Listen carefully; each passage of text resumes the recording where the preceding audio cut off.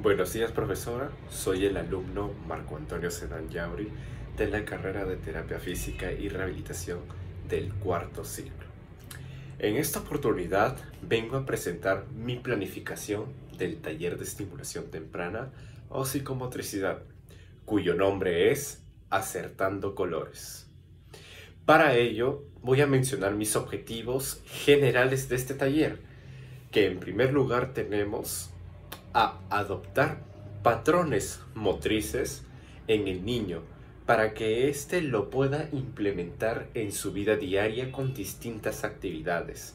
Segundo, tenemos impulsar el desarrollo del niño, como coger objetos, soltarlos, saltar. Por ahí también lo que es la precisión de los objetos. Como número 3 tenemos mejorar la coordinación y percepción, que le ayuda a identificar al niño colores y seguir indicaciones. Por último tenemos ofrecer a los padres actividad, una actividad activa en el cual ellos puedan hacer estos ejercicios que se le va a educar al niño como para que los padres también se puedan entretener en esto. Importante. Debemos mencionar los materiales que vamos a utilizar para poder realizar nuestras actividades. Número uno tenemos a las hojas de colores. En este caso, para hacer las actividades, vamos a abrir las hojas de colores. Por eso es muy importante tener variedades. Segundo, una bola de lana. Puede ser de cualquier color en realidad de preferencia. Hojas bond goma, tijera y por último la cesta o un tacho pequeño. En este caso tengo uno, pero puede ser de dos o hasta más tachos.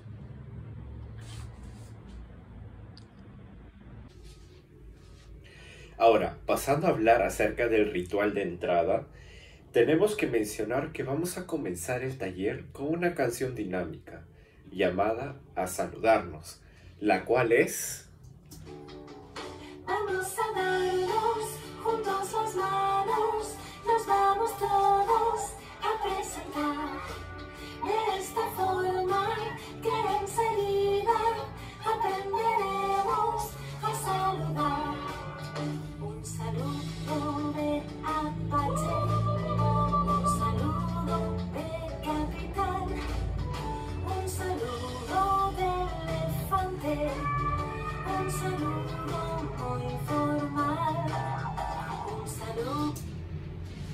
Esa canción es la que vamos a nosotros colocar al inicio del taller, para así un poco relajarnos, estimular a los niños y aparte de ello, las mímicas que estamos realizando se lo indicaremos primero al padre, para que luego vamos a colocar tanto al niño como al padre frente, así de frente, y lo que va a hacer el padre es indicarle las mímicas al niño, nuevamente, aparte de que nosotros lo hayamos hecho en general, para que de esta forma cuando suene la canción, ambos lo hagan sincronizadamente.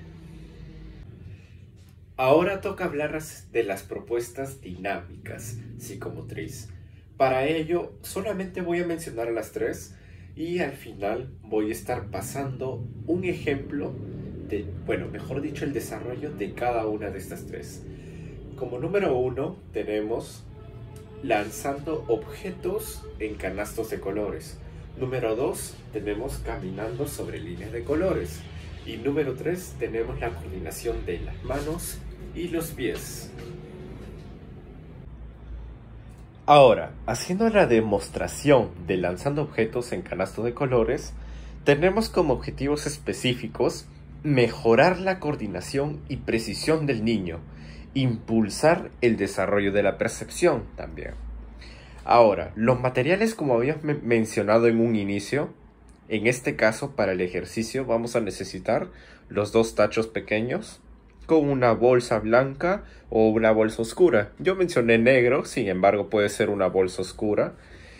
Las hojas bone que vamos a nosotros hacer las bolitas de esa manera, al igual que las hojas de colores. Para prepararnos, simplemente es ubicar las bolsas en cada uno de los tachos y hacerlo bolitas a cada una de las hojas bone como de las hojas de colores. El desarrollo que nosotros vamos a hacer es colocar ambos tachos a una distancia prudente del niño. El niño puede situarse aquí, no hay ningún problema. Y lo que nosotros vamos a indicarle es que las hojas, que en este caso son las bolas de colores, amarillo, rojo, verde, va a tener que encestarlos en esta bolsa blanca. Mientras que las hojas bone sí o sí van a tener que ser encestadas en este tacho oscuro. Puede ser azul, puede ser violeta, puede ser rosado, sí. Cualquier color menos rojo, amarillo, verde puede ir encestado en el tacho negro.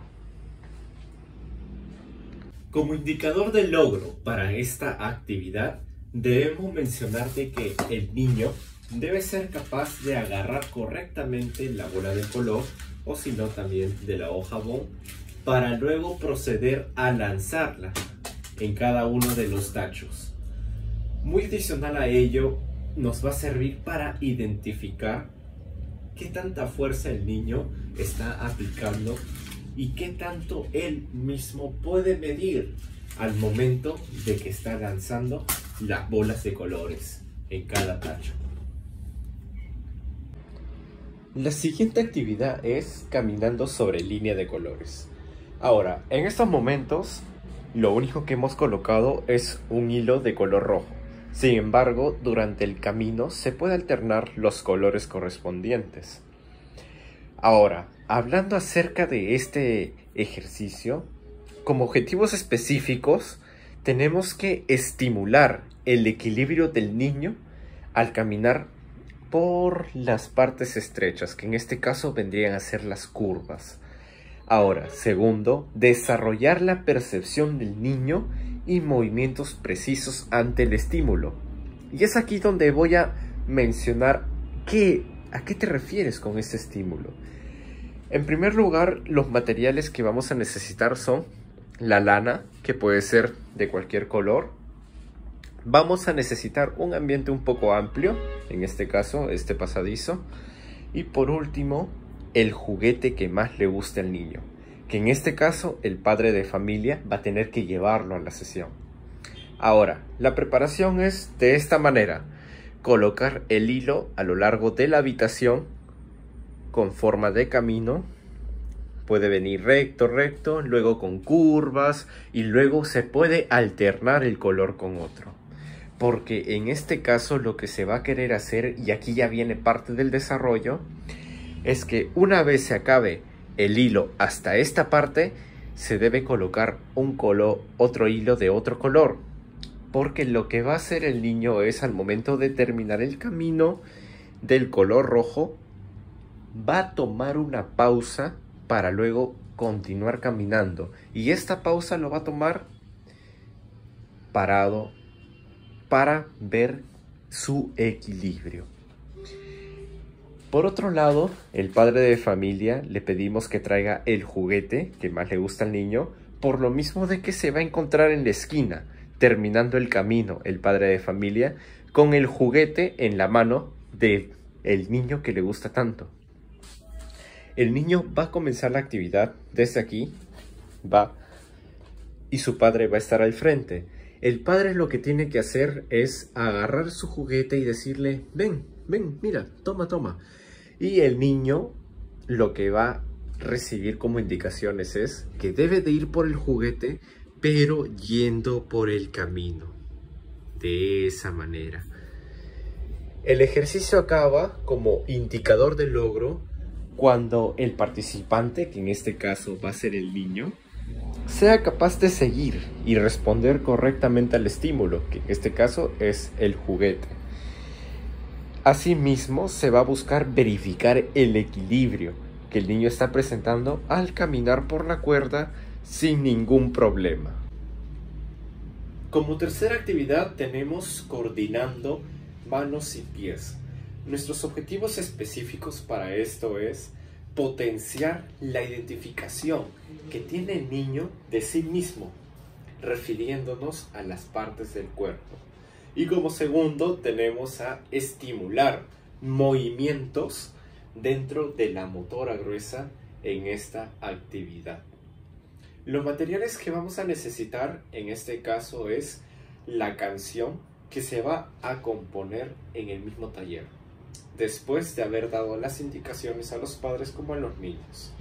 Entonces, para prepararnos, lo que nosotros vamos a hacer es indicarle al padre de familia que al momento que suena la canción debe de realizar ciertas mímicas para que luego el padre pueda colocarse frente a su niño y desarrollar las mímicas junto con la canción de manera sincronizada.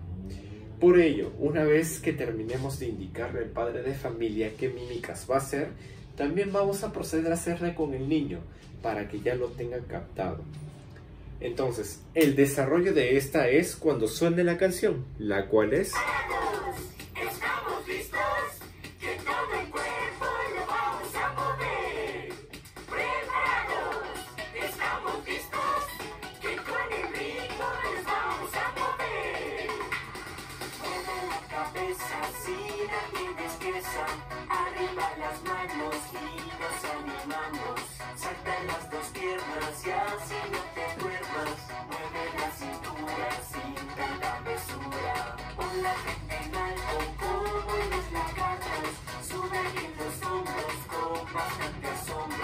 Las manos abiertas, vámonos de fiesta. Mueve la colita como una abejita. Vamos todos a bailar. La canción del cuerpo, la canción del cuerpo. Vamos todos a bailar. La canción del cuerpo, la canción del cuerpo. Manos arriba, manos al frente. Esa sería la canción que nosotros vamos a ponerla dentro del taller. Como indicador de logro, lo que nosotros queremos es que los niños, al realizar la actividad, lo hagan sincronizadamente junto con sus padres. Pero más que sincronizados, es identificar qué tanto el niño puede hacer la mímica con los movimientos específicos de las manos, los pies, la cabeza y que éste finalmente identifique bien sus partes del cuerpo, como los ojos, la nariz, la boca, las manos. Dañamos correcto al niño cuando éste realice las actividades correspondientes. Estas son las tres actividades y ahora, procediendo a hablar de la relajación y la representación simbólica, hemos preparado un material específico para esta parte del taller. Como materiales, como habíamos mencionado en un inicio del video, tenemos que tener nuestra hoja bond, una imagen, o bueno, varias imágenes de oficios profesionales. Por último, tijeras y goma para poder hacer la carta finalmente. Pero antes de llegar a ese paso, lo que nosotros en realidad queremos lograr con este ejercicio es que el niño pueda representar simbólicamente con sus acciones el oficio que le está tocando. Y ahora, ¿cómo que le está tocando? Pasando a hablar del desarrollo, va a consistir en que nosotros vamos a entregarle al niño una hoja de algún oficio. Por ejemplo, en este caso, yo tengo del policía. Le entregamos al niño y aparte le entregamos su hoja bon con su respectiva tijera y goma. Lo que le vamos a indicar al niño es que la hoja bon lo doble por la mitad, lo corte y finalmente la imagen que le dimos del policía lo pegue en su hoja bon. De esta manera que haciendo es finalmente como una carta. Una vez que el niño ya terminó de hacer esta actividad, le vamos a dar la indicación tanto a él como a su padre de que se lleve esta imagen por encima de su cabeza. Y es por ello de que esta actividad se va a llamar Adivíname si puedes. Porque el niño al llevar la imagen, así como estoy colocándolo encima de mi cabeza, se va a poner luego al frente de otro niño y el otro niño también va a estar de esta manera, pero con otro oficio. Entonces lo que tiene que hacer el niño es recrear la imagen que está observando de su compañero para que el otro niño pueda adivinarlo.